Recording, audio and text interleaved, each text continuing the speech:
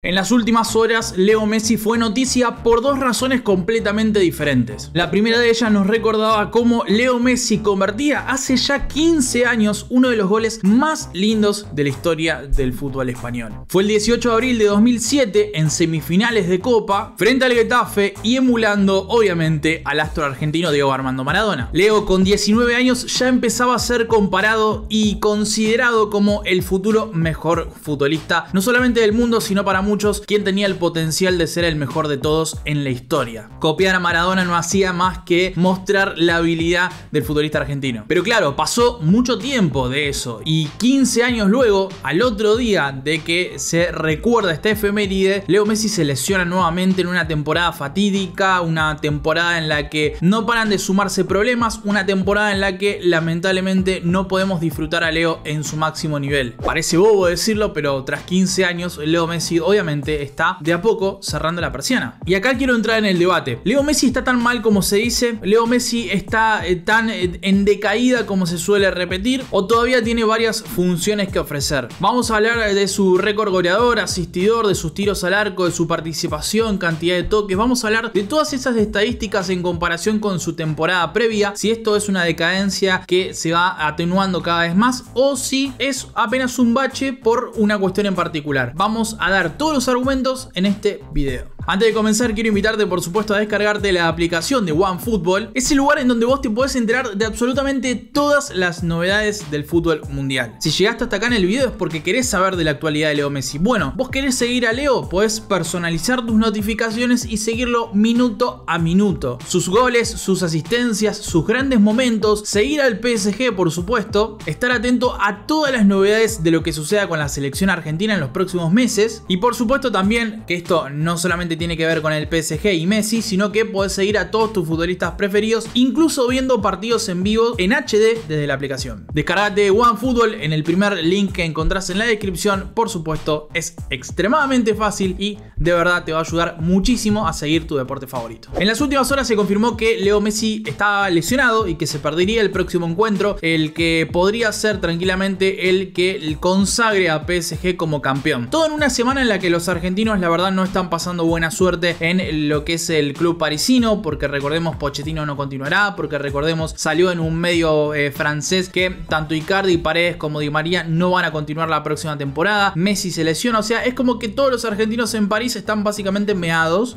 y lamentablemente no pueden disfrutar muchísimo de su final de temporada. Recordemos, Lean Paredes por suerte salió todo bien la operación, pero volverá a jugar recién en julio. Di María termina su contrato pronto. Icardi no encuentra su lugar desde que llegó Leo Messi y se dio una abundancia de delanteros que le sacaron poco a poco lugar. Veremos qué pase. Marca, por ejemplo, titula la temporada más accidentada de Leo Messi. Y la verdad que claro, a sus 34 años de edad, 35 en apenas un tiempito, es una obviedad que, bueno, la naturaleza juega mm, en contra de él y que poco a poco el físico ya no dará las mismas muestras que en temporadas previas. En septiembre tuvo un golpe en la rodilla que lo obligó a estar dos partidos afuera. En octubre otra vez fue aquejado por la rodilla y se perdió tres encuentros más. En enero tuvo COVID, con todo lo que significa. No solamente se pierde tres partidos más, sino que además en varios encuentros posteriores a eso le costó volver su nivel habitual por una cuestión obvia que las secuelas del COVID afectaron a muchísimas personas a lo largo y ancho del mundo, pero en particular a los deportistas, con un caso argentino bastante claro como por ejemplo Dybala, que le afectó muchísimo. En marzo tuvo gripe, con lo cual se pierde otro encuentro, y ahora en abril el tendón de Aquiles es el que lo aqueja y se pierde se perderá otro encuentro por una cuestión de prevención, de precaución, de no arriesgarlo al pedo. Pero claro, hay algo que no se suele tener en cuenta y es que Leo Messi no hizo pretemporada en PSG. Tuvo, la verdad, que un final de temporada en Barcelona bastante complicado. Venía de ser la gran figura del equipo, el MVP del Barcelona y de repente tiene que irse de la ciudad con todos los problemas que esto trae, con todo el desgaste anímico también, por supuesto que le trae salir de la ciudad en la que fue feliz durante tantísimo tiempo. No estuvo en el debut de PSG, se perdió varios encuentros, incluso vuelve a la selección argentina antes de tener su mayor cantidad de minutos en PSG como titular. Se perdió desde la final de la Copa América hasta su partido con PSG alrededor de dos meses sin fútbol. Tuvo triples jornadas de eliminatorias sudamericanas, algunos partidos muy importantes con la selección argentina, viajes, kilometraje, con todo lo que significa. Muchos de estos partidos los jugó incluso con problemas físicos que lo traían a maltraer y que lamentablemente Leo no podía estar a su máximo nivel. Para que nos demos una idea en la temporada, lo máximo consecutivo que llegó a jugar Leo Messi fueron nueve encuentros. En esos nueve encuentros él estaba a tope físicamente, estaba muy bien, obviamente sin una pretemporada encima, sin todo lo que significa y todo lo que hablamos recién, pero llegó a hacer seis asistencias en nueve encuentros. Después de eso, vuelven las lesiones y vuelve a repetir esas rachas. Se lesiona, aparece tres encuentros, se vuelve a lesionar, desaparece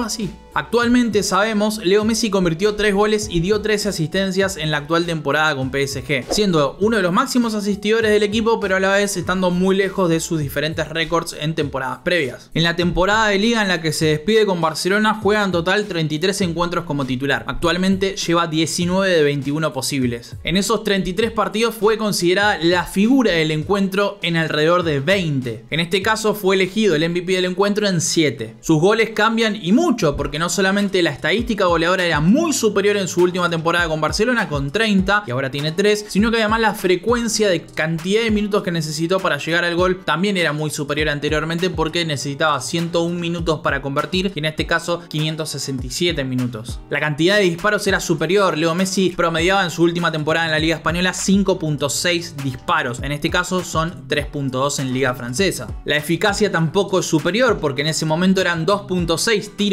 entre los tres palos, ahora es 0.9. Ocasiones falladas, la misma cantidad. 11 en los 33 partidos de titular, 35 en total que tuvo con el Barcelona en su momento y ahora 11 en 21 partidos, 19 eh, de ellos como titular en el PSG en liga. Hasta ahora pequeña evaluación, obviamente el récord goleador era superior en mayor cantidad de partidos, su estado físico era otro, su nivel era otro, él era el encargado de patear los penales, de ejecutar los tiros libres, de desarrollar varias de las cuestiones que tienen que ver con la definición del equipo. En este caso, al tener a Mbappé, tener a Neymar, tener a Di María en varios encuentros, tener varios exponentes que pueden hacer las veces de jugador importante, jugador definidor, lamentablemente Leo baja su producción. Las asistencias, 9 en aquel momento, 13 ahora. Hasta la incidencia en cuanto a toques en los encuentros, porque en ese momento promediaba 91 toques por partido, en este caso 75. 91 es una brutalidad, 75 está muy bien, o sea, es lo que se suele promediar en diferentes competiciones. Pero hay un detalle no menor y es eso que decíamos recién. O sea, la importancia de Leo en aquel Barcelona era pero infinitamente superior a lo que actualmente es en PSG, donde la gran figura no es otro que Mbappé y donde Neymar